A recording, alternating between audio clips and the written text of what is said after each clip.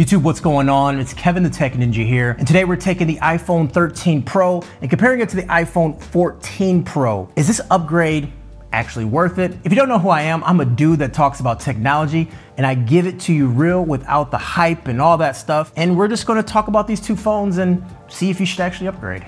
Now, Apple has made a lot of changes this year, and arguably the most we've seen in quite a while. But you guys know how I do it. I'm not gonna talk about the specs, I'm not gonna really talk about the keynote, I'm gonna talk about my experience using both phones and what I know about them. On paper, the iPhone 14 has seen quite a few changes. Now, one thing that sticks out the most is notch, or I guess the lack of notch. Now they're using something called a dynamic island. Even though it's a pretty funny name, it actually is pretty cool. It's a different way to show what's active on the phone and things you can look at without having to go into an app. I'll talk about it a lot more in my full review because a lot of the things regarding the dynamic island doesn't work all the way just yet yet because software isn't ready, but so far I love the potential of what it can actually do. Now here's some examples of it in action. So when listening to music, you can see the controls from this bar, and I like how when you flick up the music, it actually dives back into the bar. Also a timer, you can access it here as well. You can always see your timer counting down without having to go back into the timer app and stuff like that. Now I'll say around November, there'll be more apps that will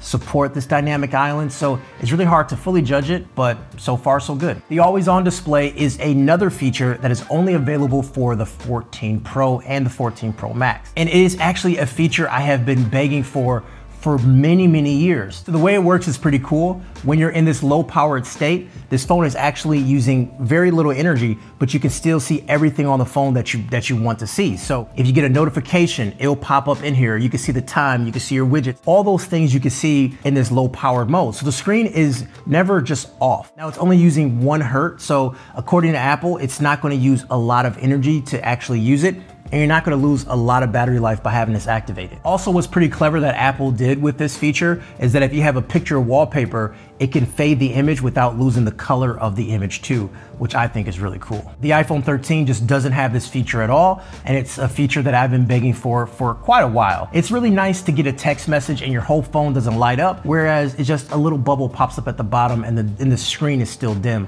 This can only be done with the new display on the phone. Now, I've only been using the phone for a couple days, so I can't tell you how it affects battery life, but I haven't noticed anything out of the ordinary. In the hands, both phones are very similar and the build is just as good as ever. So the buttons are in the same location, all those things line up. So when you pick up the phone, you put the phone in your hand, expect the same experience. Nothing on that side has changed. Same screen size, same everything. So the iPhone 13 Pro and the 14 Pro, they come in different colors, right? You can select different colors. There's like a new purple color too that you could check out. But that's not a big deal because if you want to change the way the phone looks, my sponsor Dbrand can help you out. For like less than $20, you can get a brand new skin for your phone. You apply it on there and you have like a whole new phone. I know some people that accessorize their phones, they change the color and change the skin up like every couple months to get a fresh looking phone. Hit my links down below to debrand your device. And once you do it, you can't go back. Now, the camera setup, the way it looks is the same, but when you put them on the side, yeah, it's a lot thicker. But there's a good reason for it to be thicker. We now have a 48 megapixel sensor and it has larger pixels, which on paper is significantly larger than the 12 megapixel camera and the smaller sensors. The ultra wide and telephoto is the same megapixel, but the one cool feature is that since the sensor is bigger, you now have a 2x zoom with the 3x zoom with no quality loss, meaning you have an extra focal length with only having three lenses. So what does that actually mean when I was walking around taking photos? Am I noticing anything? The camera is better. Now what I find is that not only you get more detail after zooming into the shot and taking it, but in lower light, I felt the image was more lifelike. I found that in details, things were much more refined and not as muddy. Look at this picture of Andrew's beard. You can see here, it is just has more detail in the beard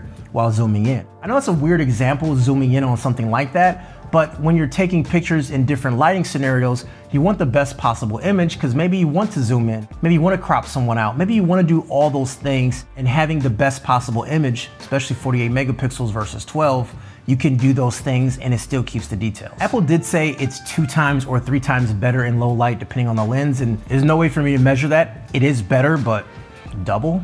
I don't know. Okay, so this part I'm aware won't matter to 90% of people, but it's something that is worth mentioning. This is for the pro shooters out there or who wants to take the best photos with their phones and being able to edit these photos. Pro RAW is now in 48 megapixels which unlocks even more flexibility in post. I need to admit, I've never used Pro RAW or Pro Res on my phone. I, I feel like that's adding an extra layer that I don't want to do. But sometimes when I'm using just my phone, I will take my camera if I need to take a thumbnail, or I'll take my camera if I need to just grab uh, like a full landscape image or something like that. If I have the ability to use 48 megapixels on this phone in Pro RAW, that might be able to replace that one scenario I may have. The iPhone 14 Pro has seen an upgrade on video as well. Cinematic mode is now in 4K compared to 1080p. You can also shoot in 24 frames per second in cinematic mode, although the 24 frames per second second is something that could be rolled out on the 13 Pro, so I won't just say that's the 14 Pro. There's now also an action camera mode on the 14 Pro, 14 Pro Max exclusive,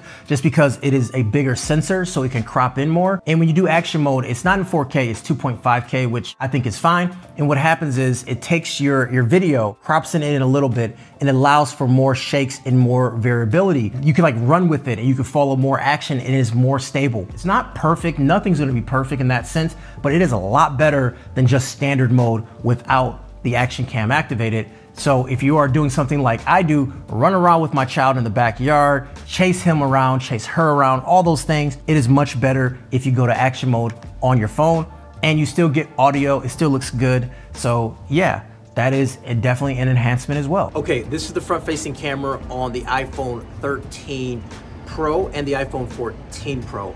Um, I wanna know if you're seeing anything as far as quality, audio, anything like that. I am obviously, I'm gonna be switching audio back and forth. You're gonna see in the bottom which audio file I'm using. And yeah, let me know how it looks. Let me know how it sounds. And uh, yeah, let me know. So we gotta talk about performance. Um, this is using Apple's newest chip, the newest Bionic processor compared to the 13 Pro, which has an older processor. Look, day-to-day activities, you're not gonna notice a difference, right? I'm not gonna sit up here and say this phone is that much faster and that much better. We can't do that.